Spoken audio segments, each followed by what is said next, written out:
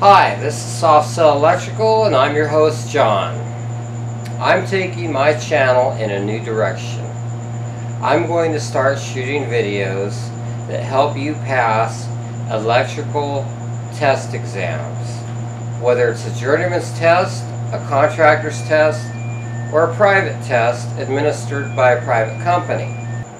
In any case, if it's the contractor's test, it's probably the hardest test that you're ever going to take on electrical.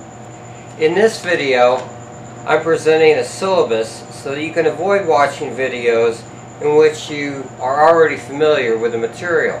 We're starting with scope. No, it's not a mouthwash.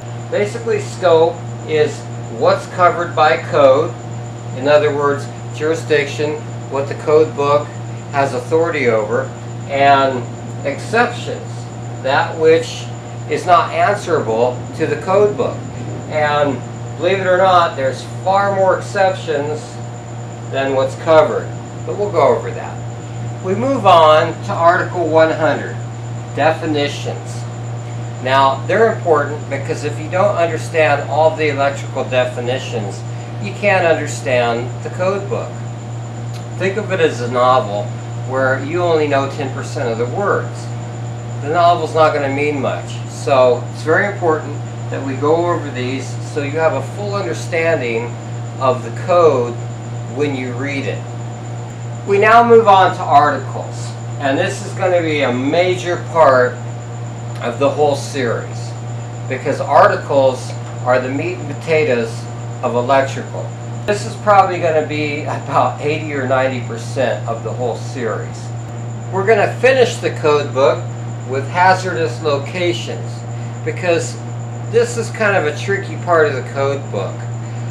This is basic safety and safety rules and it's not in the code book but it's going to be on the test, I assure you.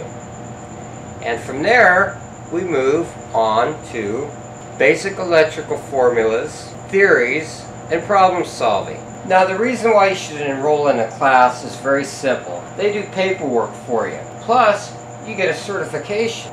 Use my videos to better understand the classwork material you're dealing on.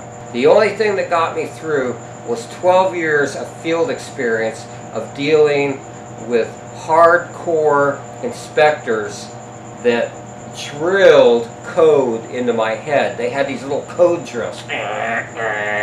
And that's why it was in my head. That's what got me through.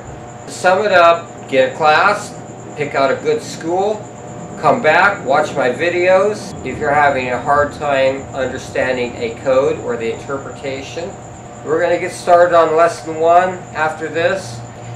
Thanks for watching and have a great day.